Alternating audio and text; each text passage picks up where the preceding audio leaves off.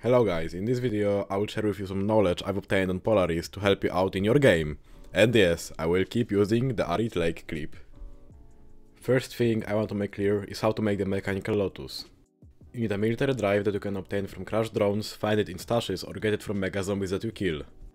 This power display shows how many times you can craft the mecha Mechanical Lotus on one military drive. It has 4 bars, which means you can get 4 me Mechanical Lotuses for one military drive. The three other ingredients that we need to finally obtain the Mechanical Lotus are Polaris Rose, Cyan Crystals, and Copper Coil.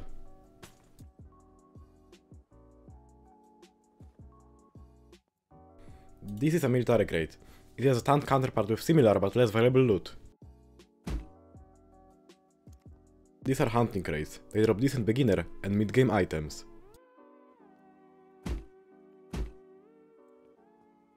The white ones are police ones. They have a black counterpart. Do not confuse it with Dead Zone crate that will be shown later.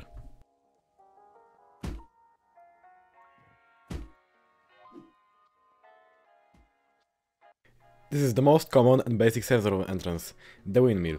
First you have to break the planks, blocking the doorway, and then enable the power to finally open the door to the safe zone.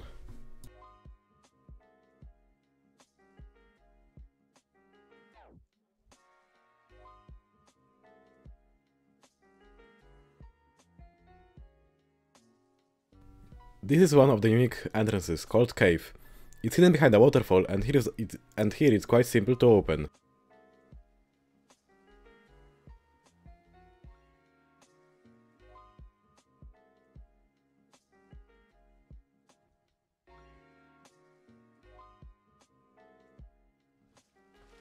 This is the dam.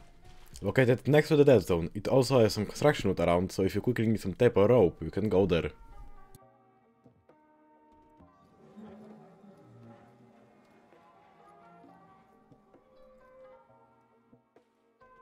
This is the lighthouse. To get the power needed to open the gate, you just need to attach a cable at the top of, at the top of it, sh as shown in the video.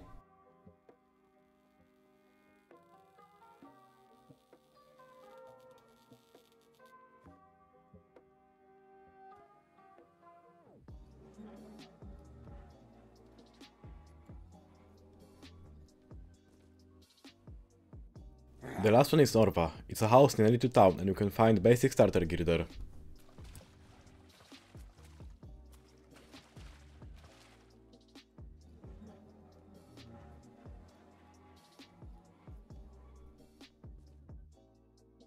Cotton can be found at hospitals, usually spots that start with Saint, while biohazard fibers can be obtained from Haze and on the location shown on the clip.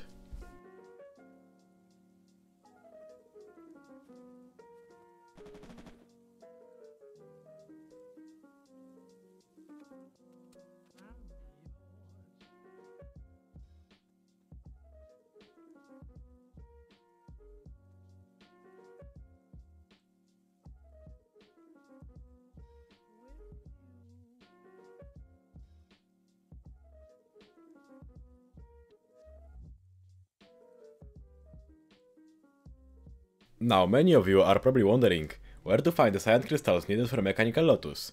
Well, you don't have to worry, because you can find them in stashes and in drops from observers. They look like big, dark grey bananas with big eye, and not get too close to them, because they will attack. Locations are marked on the map, and these are all I am aware of, so if I missed some, please let me know in the comments. To craft the gas mask, first you need a filter. To craft it, you need one Mechanical Lotus, 4 ropes and 1 can.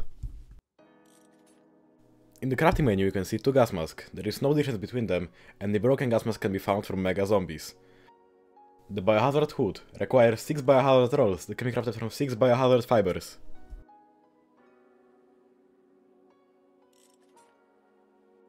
The hidden stashes can grant you some amazing mid to end game loot, depending on your luck. Usually they are hidden on cliffs, near bushes and rocks, so make sure to keep your eyes open. This is the place I will refer to as the trap, although it's not one. Why? Well, I will show you the following footage. Everything seems normal. You have this red cube you can pick up and you're told to put it in one of the side slots of the door.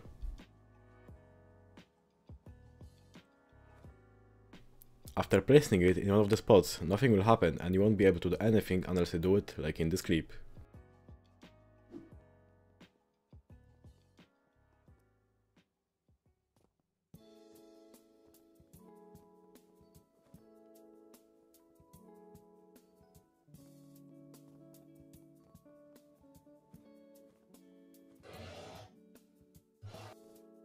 The military drones are a sure way to get military drives.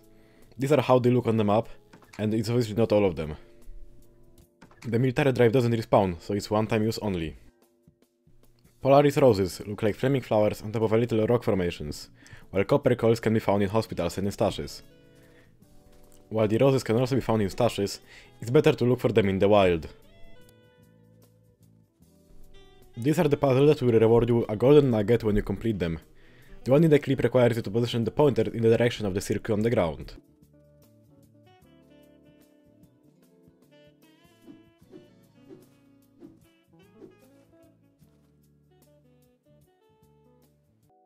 This puzzle will also reward with a golden nugget.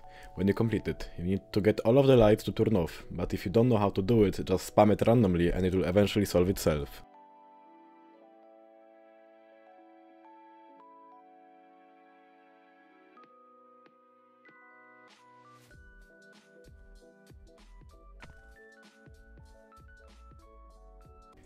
This is the raiding part. A bit late game, I know, but with the End-to-Other Brenter you can 5-shot a wooden wall that, that has 600 HP. The Brenter does about 150 structure damage, so it's viable, but I need a lot of ammunition for it. Now, the C4 does 650 structure damage, so it destroys the entire wall with the foundation in one go. Then let's move to the next contender, the scrap wall. I personally would recommend raiding with Brenter, since the C4 can be used to blow open a lot of lockers which you will be able to see later. It takes 2 C4 to blow through scrap structures.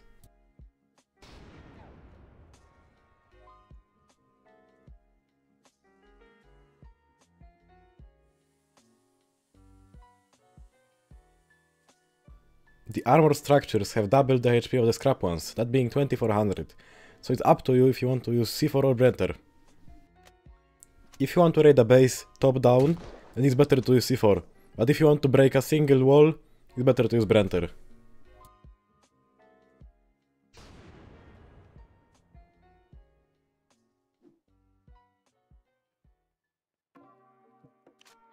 Now let's check the deployables, that being doors and lockers. The normal scrap door has the HP of the scrap walls, so you can ten-shot it with the Brenter.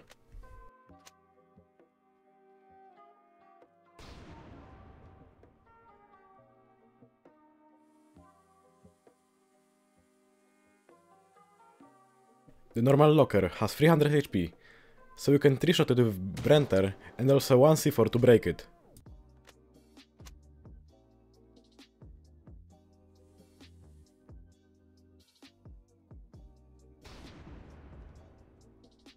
The armored locker at 600 HP can be 5-shotted while also taking 1 C4 to break it.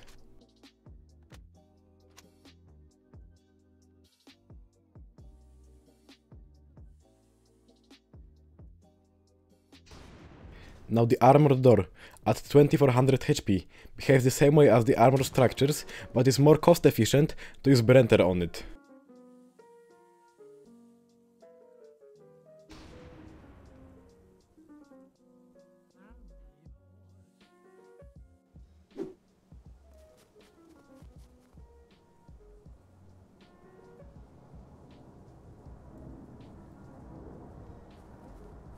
While playing, you may hear this sound and wonder what it is.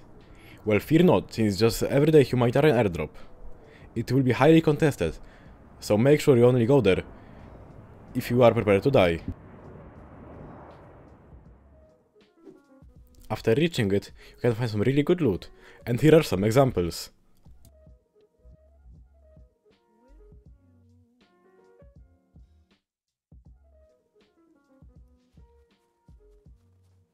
The library is located as shown on the map. To do the puzzle, just do what is being done on the following clip.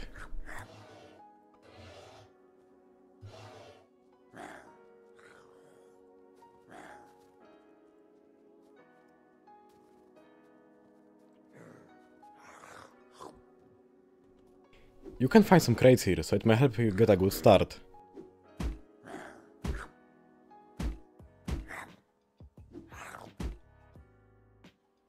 If you didn't know, up on this bridge you can get 10 night vision goggles, but watch out since they don't respawn. With gun parts that can be found in the dead zone, you can upgrade your MP9, Brenter, and Walnut into their more powerful counterparts. You can also upgrade the block with homemade upgrade kit, but I won't include it. Gun oil will be another must-have for mid to late game.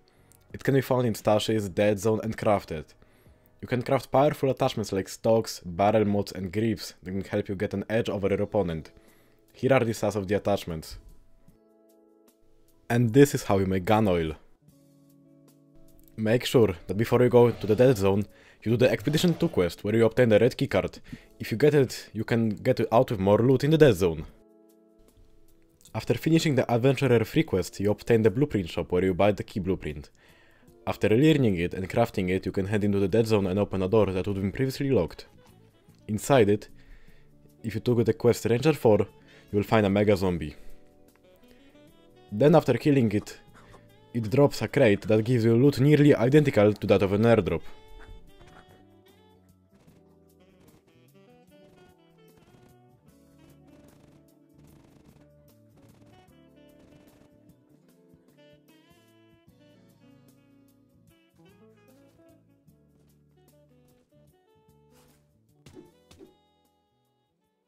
Now here is me opening the crate. This will be a quick showcase of the Dead Zone and the black Dead Zone crates mentioned at the beginning. Almost all of the Dead Zone loot is obtained from killing zombies, so make sure to kill all of them.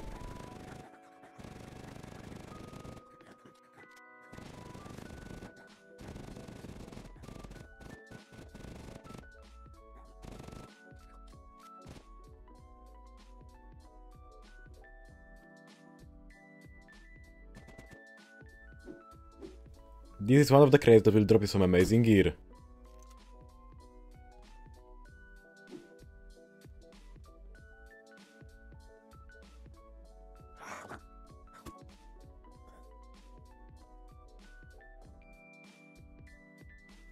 After reaching this location on the map, you'll find a small cave house.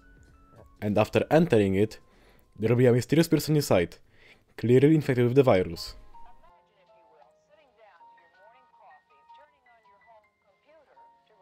After talking with him, he will ask you for snowberries.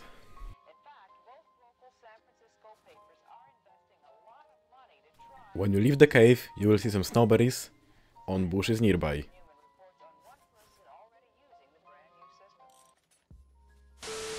Now, I won't be showing you the rest of this quest, since there is an interesting twist to it, so make sure to check it out yourself.